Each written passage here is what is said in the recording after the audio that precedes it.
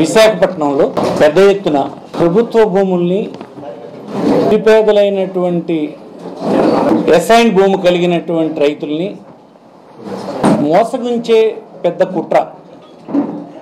ప్రభుత్వంలో భాగస్వాములైనటువంటి వాళ్ళే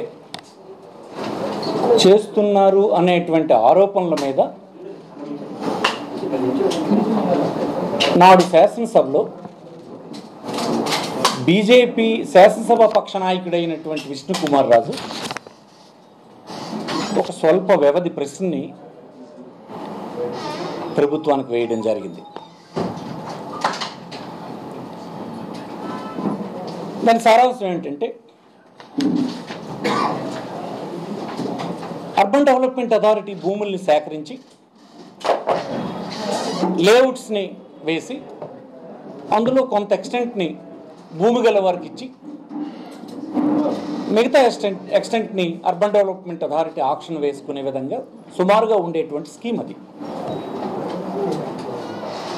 ఈ స్కీమ్లో మధ్యవర్తులు దూరి నిరుపేదలైనటువంటి ఫ్రీడమ్ ఫైటర్స్ కాకపోతే ఎక్సర్విస్ మెన్ కాకపోతే అసైన్మెంట్ పొందినటువంటి వాళ్ళు వీరి దగ్గర నుంచి కొనుగోలు చేసేసి దబాయించి అడ్డగోలుగా వ్యవహారం చేస్తుంటే రూల్స్కి అనుగుణంగా లేనటువంటి విషయాల్ని ప్రభుత్వం దృష్టికి వచ్చిందా అని చెప్పి ఆయన క్వశ్చన్ వేయడం జరిగింది. క్వశ్చన్ వేసినటువంటి డొంక అంతా కదిలింది దాని తర్వాత. మీరు ఇందులో గమనించాల్సింది రాష్ట్ర ప్రజలు గమనించాల్సింది అర్బన్ డెవలప్మెంట్ అథారిటీ ఒక స్కీమ్ ఫార్ములేట్ చేసింది. ఆ స్కీమ్ ఫార్ములేట్ చేస్తే ఆ స్కీమ్ ప్రపోజల్ని పద్నాలుగు నవంబర్ పదహారవ తేదీన ప్రభుత్వం దానికి ఎస్ అన్నది urban development authority land pooling scheme formation and implementation rules two thousand sixteen notified under section one sixteen of the AP metropolitan region and urban development authorities act number two thousand sixteen కింద ఇచ్చారు. ఇస్తే government ఇరవై ఐదున November ఇరవై ఐదున మరొక GO issue చేసింది. Government issued orders to VUDA for taking up individual land pooling scheme with respect to మూడు వందల అరవై ప్లస్ నూట ఎనభై నాలుగు ఎకరాల of land in Anandapuram mandal Visakhapatnam the proposal contained ex servicemen assigned lands unobjectionable government lands objectionable government lands different ratios of sharing is fixed for the above different classes of land ఇదేంటంటే ఒక పద్నాలుగు నుంచి ఇరవై ఐదు అంటే ఎన్ని తేదీలు ఎన్ని రోజులు అది ఐదు రోజులు ఇది ఆరు రోజులు. పదకొండు రోజుల్లో ప్రభుత్వం ఒక స్కీమ్ ఫార్ములేట్ చేసేయడం ఆ స్కీమ్ కింద కొన్ని ప్రపోజల్స్ వచ్చేయడం ఆ ప్రపోజల్స్ కొంతమంది ఇండివిజువల్స్కి సంబంధించినటువంటివి మూడు వందల అరవైను నూట ఎనభై ఎకరాలకు సంబంధించినటువంటి భూముల్ని టేకప్ చేయమని ఉడాకి పెర్మిషన్ ఇచ్చేయడం. ఇవన్నీ పదకొండు రోజుల్లో జరిగినాయండి. రాష్ట్రంలో ఉండేటువంటి ప్రజలు గమనించాల్సినటువంటి అంశం ఇదని మీకు మనం చేస్తున్నాం. అంటే ఒక ఇండివిజువల్ ఎవరో దీన్ని నడిపించవచ్చు కానీ ప్రభుత్వంలో ఉండేటువంటి పెద్దలు ఉన్నారన్నదానికి ఇది అసలు ఈ ఇన్వెస్టిగేషన్లో శోధించాల్సింది ఇది. ఈ రాష్ట్రంలో ఉన్నటువంటి మీరు చూసుంటారు. సీ జూనియర్ అసిస్టెంట్ నుంచి సీనియర్ అసిస్టెంట్ టేబుల్కి వెళ్ళడానికి రెండేసి నెలలు అవుతుంటుంది ఒక దగ్గర. కానీ ఇక్కడ ఒక అర్బన్ డెవలప్మెంట్ అథారిటీ నుంచి ఒక ప్రపోజల్ రూల్స్ ఫ్రేమ్ చేసి వెళ్ళడం. ఆ రూల్స్ ఫ్రేమింగ్ అయిపోయినటువంటి జీవో ఇష్యూ చేసేయడం పద్నాలుగో తేదీ నవంబర్న. ఇరవై ఐదో తేదీ నవంబర్ సరికి స్పెసిఫిక్ సర్వే నెంబర్లు కలిగినటువంటి ఇండివిజువల్ సబ్మిట్ చేసినటువంటి ఒక ప్రపోజల్ మూడు వందల అరవై ఎకరాలు ఒకటి నూట ఎనభై ఎకరాలు ఒకటి సుమారుగా ఐదు వందల ఎకరాల భూమికి సంబంధించి ఈ షేరింగ్ కింద మధ్యవర్తులు ఇచ్చినటువంటి ప్రపోజల్ని యాక్సెప్ట్ చేసేయడం. కూడా ప్రొసీడ్ అయిపోమని ఒక జీవో ఇష్యూ చేసేయడం అయిపోయింది. లెవెన్ డేస్లో అయింది. మీరు చూసుకోండి. అందుకే ఆనాడు రాష్ట్రంలో ఉండేటువంటి ప్రజలంతా దీని మీద పెద్ద ఎత్తున యాజిటేట్ చేశారు. మా నాయకుడు జగన్మోహన్ రెడ్డి కూడా విశాఖపట్నంలో పెద్ద బహిరంగ సభ అడ్రస్ చేయడం జరిగింది. ఆనాడు మిత్రపక్షంగా ఉన్నటువంటి బీజేపీ శాసనసభ ఫ్లోర్ లీడర్ అయినటువంటి విష్ణుకుమార్ రాజు చాలా ఖచ్చితంగా దీన్ని ఈవెన్ మిత్రపక్షమైనా కూడా అడిగాడు ఈ విషయంలో చాలా పెద్దలు ఉన్నారు మీరు సభా సంఘాన్నైనా చివరికి వెయ్యండి అని చివరికి అడిగాడు. సభా సంఘం అంటే అన్ని పార్టీలకు సంబంధించిన లెజిస్లేటర్స్తో కలిపి ఇన్ డీటెయిల్ ఎంక్వైరీ చేసేటువంటి ఒక సంఘం. స్పీకర్ పరిధిలో ఉండేటువంటి సంఘం. వేయమని అడిగాడు? అది మీరు కాదన్నారు. లేదు ఒక జుడిషియల్ మెంబర్ని పెట్టి దర్యాప్తు జరిపించమని అడిగాడు ఆయన. అది మీరు చేయలేదు. ఎందుకు చేయలేదో ప్రజలందరికీ ఇప్పుడు తెలుసు. మీరు ఎందుకు చేయించలేకపోయినారో తెలుసు. అది కాదని. మీ మంత్రి ఇచ్చిన సమాధానం ఏంటి అక్కడ? బహుశా గౌరవనీయులు నారాయణరావు నారాయణ అనుకుంటాను. ల్యాండ్ గ్రాఫింగ్ కింద కేసు రిజిస్టర్ అయింది. కేసు కేసు రిజిస్టర్ అయింది కనుక మరి అవసరం లేదన్నట్టు ఒక వేగ్ సమాధానం ఇచ్చారు. ల్యాండ్ గ్రాబింగ్ కింద ఆ పర్టికులర్ సర్వే నెంబర్లో ఉండేటువంటి మూడు వందల అరవై ఎకరాలు నూట ఎనభై ఎకరాలు ఆనందపురం మండలంలో ఉండేటువంటి ఆ విలేజ్ది కానీ ల్యాండ్ గ్రాబింగ్ అయితే ల్యాండ్ గ్రాబింగ్ కింద ఉన్నటువంటిది మళ్ళీ పర్మిషన్ ఎలా ఇచ్చారు మీరు? ఊడాకి. ల్యాండ్ గ్రాబింగ్ రిజిస్టర్ అయింది కదా. దాని తర్వాత అవుట్కమ్ ఏది రాకుండా పర్మిషన్ ఎలా ఇచ్చారండి. మీరు ఎంత తప్పులు చేస్తున్నారన్నది పబ్లిక్గా ప్రజలకు తెలిసిపోతుంది. సిట్ సిట్ అనేది ఏంటి? ఈ రాష్ట్రంలో ప్రజలందరికీ మోసగించే ఒక ఒక ఇన్వెస్టిగేషన్ మీ చేతిలో ఉన్నంతకాలం ఏవి రావు. ఎవరిని వేశారు సిట్లో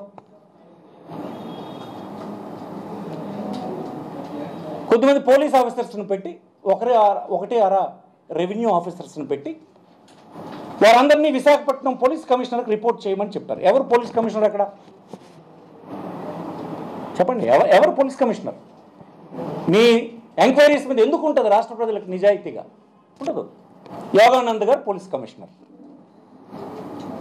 ఆయన చెప్పారు. పోలీస్ ఆఫీసర్స్ సంతోషాలపై సిట్ నడిపారు. ఒక రెవెన్యూ మ్యాటర్ ల్యాండ్స్ ట్యాంపరింగ్ అయినాయని వస్తే ప్రభుత్వంలో పెద్ద ఎత్తున ఫాస్ట్గా ఆ ట్యాంపరింగ్ జరిగినటువంటి రికార్డ్స్ని రికార్డ్స్ని అంగీకరించి భూమి తీసుకొని వారికి కాంపెన్సేషన్ పే చేయడానికి సిద్ధపడుతున్నటువంటి నేపథ్యంలో కొన్ని రాజకీయ పార్టీలు శాసనసభలోను బయట వెలుపల అడిగితే మీరు వేసినటువంటి కమిటీలో మెంబర్స్ ఎవరు? ఎవరిని వేయాలి? రెవెన్యూ పీపుల్ తోటి వేయాలి. ఇష్యూ ట్యాంపరింగ్ అయిందని కదా రికార్డ్స్ ట్యాంపర్ అయిందని సేమ్ టైం ప్రభుత్వంలో ఇంత ఫాస్ట్గా ఇవన్నీ కదిలినాయి. దీని వెనక ఉన్న వాళ్ళు ఎవరు? ఇది కదా శోధించాలి. మీరు ఎందుకు ఇవి శోధించలేదు? మీ ప్రభుత్వంలో ఇంత ఫాస్ట్గా ఇవి నడుస్తాయా? ఎవరున్నారు దీని వెనక?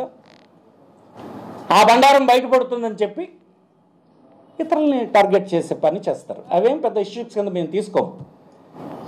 మీరు విషయాన్ని డైవర్ట్ చేయడానికి ఎవరి పేరులో పెట్టేసినంత మాత్రాన ఏమైపోద్దని భయపడం. అపోజిషన్లో ఉన్నప్పుడు ప్రజల గొంతు వినిపించడానికి మేము గొంతు ఎత్తునే ఉంటాం.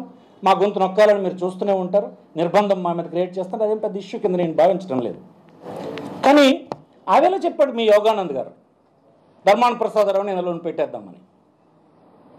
ధర్మాన్ ప్రసాదరావుకి మీరు రెవెన్యూ మినిస్టర్ చేశారు. మీరు చెప్పండి. తొంభై నాలుగు సంవత్సరం తెలుగుదేశం ప్రభుత్వం వచ్చినప్పుడు. గౌరవనీయులు ముఖ్యమంత్రిగా అప్పుడు ఎన్టీ రామారావు ఉన్నప్పుడు మీరు రెవెన్యూ మినిస్టర్ ఉన్నారు. మీకు నేను అడుగుతున్నాను.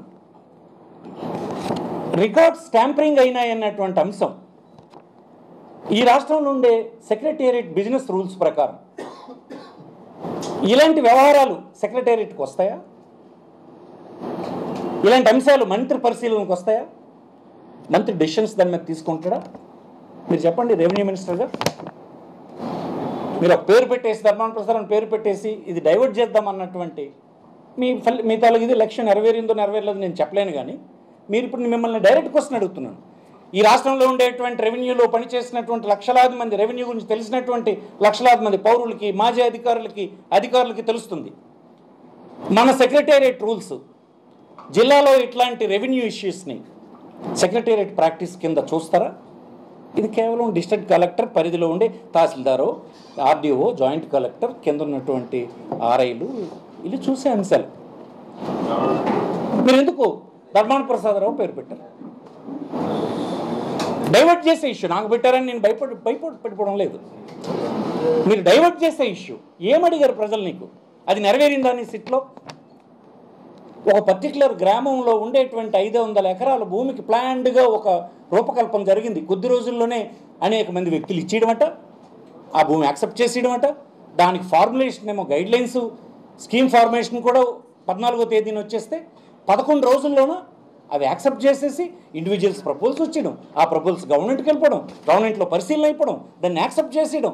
యాక్సెప్ట్ చేసేసి ఉడాకేమో డైరెక్షన్ ఇచ్చేయడం అది ఇచ్చేసేయండి ప్రొసీడ్ అయిపోయింది ఎవరు లేకపోతే ఇది జరిగింది. పైగా మీ మంత్రి చెప్తుండే అది గ్రాబింగ్ యాక్ట్ కింద కేసు రిజిస్టర్ అయిందని మరి ఎలా ఫార్ములేట్ చేస్తారు ఎలా పెర్మిషన్ ఇస్తూ జీవో ఇచ్చారు? అసెంబ్లీలో మీరు చెప్పిన జవాబు ఏంటి? షార్ట్ క్వశ్చన్కి ఏం జరిగింది ఇక్కడ?